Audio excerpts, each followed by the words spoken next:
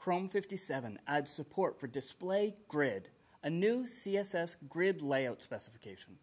You can now customize and respond to user input on the lock screen and notifications using the new Media Session API, and there's plenty more. I'm Pete LePage. Let's dive in and see what's new for developers in Chrome 57.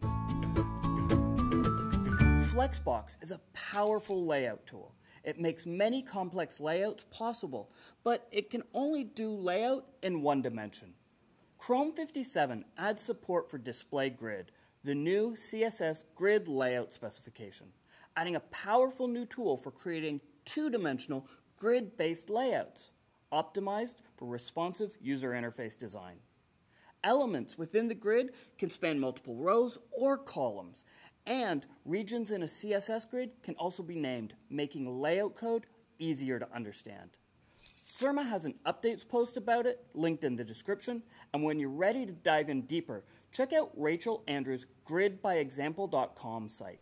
One of the missing features from web media applications has been the ability to deeply integrate with the core media experiences on mobile devices. In Chrome for Android, you can now customize the lock screen and notifications with media content using the new Media Session API. By providing metadata to the browser about the content being played, you can create rich lock screen messages that include information such as the artist, title, album name, artwork, and more. You can also listen for and respond to user actions taken on the lock screen or notification, such as seeking or skipping. If you want to get started quickly, Francois has a great updates post about it, or check out the official Chrome Media Session sample repo on GitHub. Both are linked in the description below. And there's lots more. There are some improvements to the Payment Request API.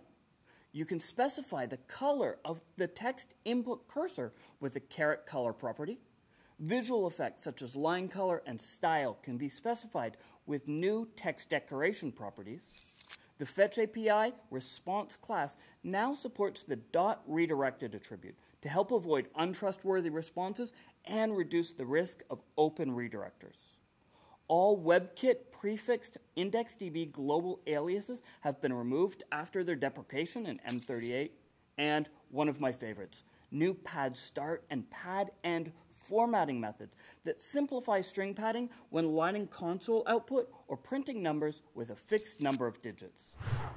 These are just a few of the changes in Chrome 57 for developers.